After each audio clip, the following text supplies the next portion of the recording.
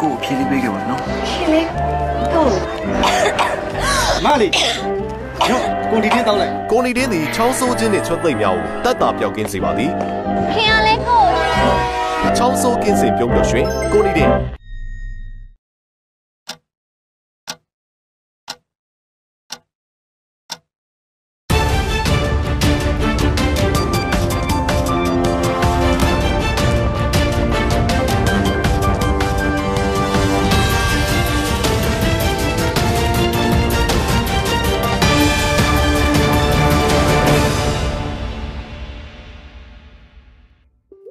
မင်္ဂလာပါရှင်ကျမလွန်သိန်းငယ်ဦးပါ7 TV ရဲ့ 7pm new ပထမဆုံးတင်ဆက်ပေးခြင်းတဲ့သတင်းကတော့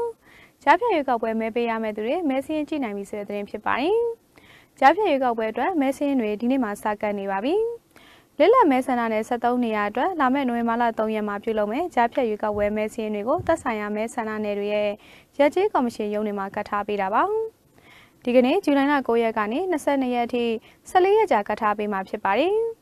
မဲစင်းလာရောက်ကြည့်ရှုဖို့ မဲစင်းတွေလာရောက်ကြည့်ရှုကြဖို့မှားနေရင်လိုနေရင်တတ်မှတ်ပုံစံတွေနဲ့ပြန်လျှောက်ဖို့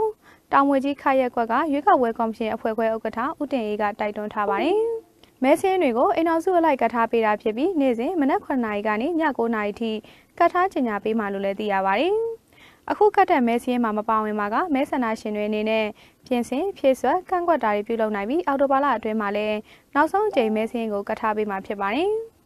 အခုကတ်တဲ့မဲစင်းက2015အထွေထွေရွေးကောက်ပွဲကိုအခြေခံပြီးပြုစုထားတာဖြစ်က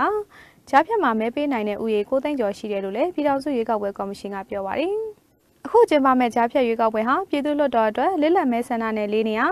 အမျိုးသားလွှတ်တော်မှာတနေရာတိုင်းဒေသကြီးနဲ့ပြည်နယ်လွှတ်တော်မှာ၈နေရာအတွက်ဖြစ်ပါတယ်။ပြည်သူ့လွှတ်တော်အတွက်လစ်လက်မဲဆန္ဒနယ်တွေကကံပတ်လက်လဲချာ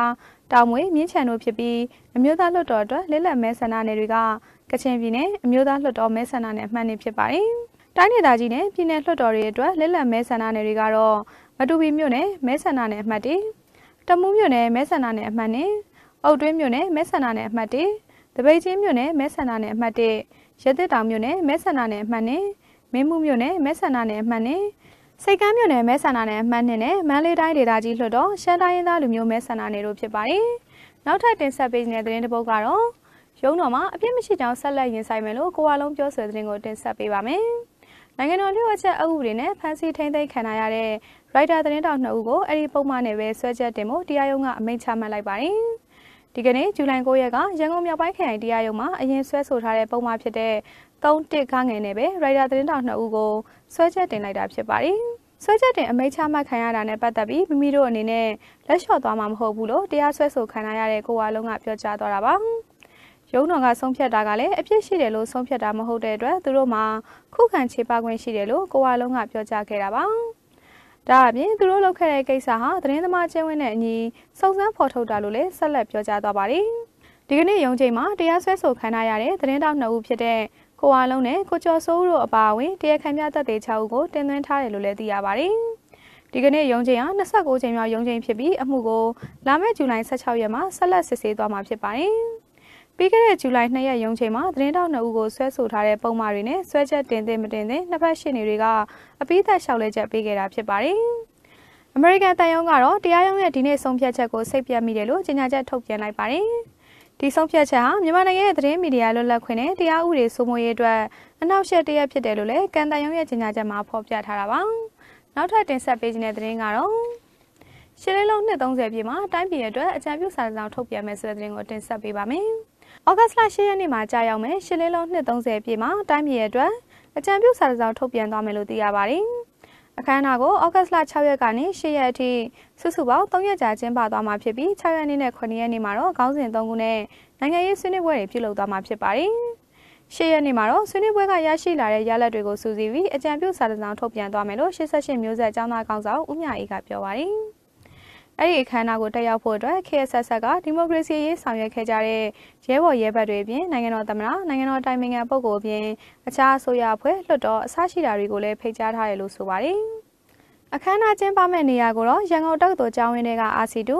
သူဝနာအမျိုးသားကားဆက်ရုံနဲ့ MCC ခမ်းမတို့ကိုရထားပေမဲ့အခုထိမသေးကြသေးကြောင်းလည်းသိရပါတယ်။နောက်ထပ်တင်ဆက်ပေးခြင်းတဲ့သတင်းတစ်ပုဒ်ကတော့မဲဆိုင်ကူရဲ့ဒုတိယမြောက်နေ့ကယ်ဆယ်ရေးအခြေအနေဆိုတဲ့သတင်းကိုတင်ဆက်ပေးပါမယ်။ မဲဆိုင်ကူရဲ့ကယ်ဆယ်ရေးလုပ်ငန်းစဉ်ဒုတိယမြောက်နေ့ညနေ9:00နာရီမှာပထမဆုံးကလေးတစ်ယောက်ကိုကူဝယ်ပြင်ကယ်ထုတ်နိုင်ခဲ့ပါတယ်။ရိုက်တာသတင်းဌာနကကယ်ဆယ်ရေးလုပ်ငန်းမှာကြီးကြပ်နေသူတချို့ရဲ့အဆိုကိုကိုးကားပြီးတမ်လာကူတွေကပြည်စမမြောက်လူငယ်တအုပ်အပြင်ကိုရောက်လာပြီလို့ဖော်ပြထားပါတယ်။ဒါပေမဲ့ထိုင်းအာဏာပိုင်တွေကတော့ဒုတိယမြောက်နေ့မှာ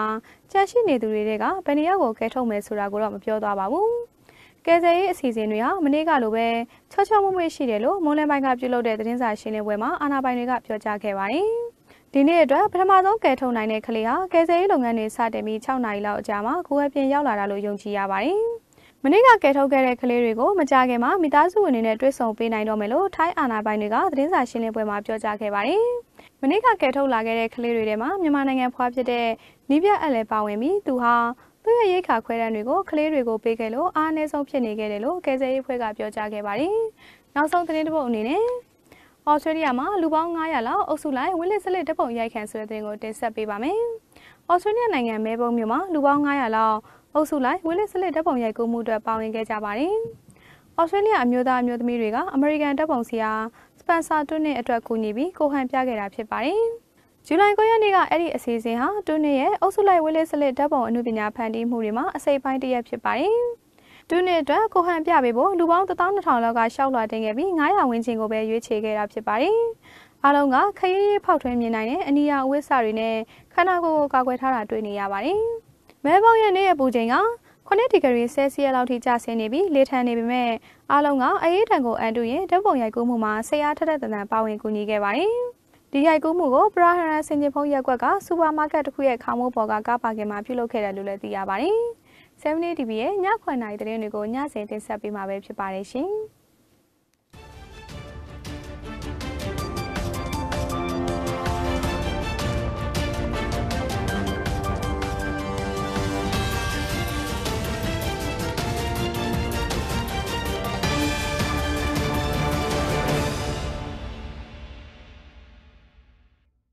။ကို့ကိုဖြေးလေးပေးခဲ့ပါနော်ခင်လေးကိုမလေး ညကိုဒီတင်းတောင်းလိုက်ကိုနီတင်းသည်ချောင်းဆိုးခြင်းနှင့်ချွတ်သိမ့်များကိုတတ်တာပြောက်ကင်းစေပါသည်ခင်ရလဲကိုချောင်းဆိုးကင်းစေပြုံးလို့ရွှင်ကိုနီတင်း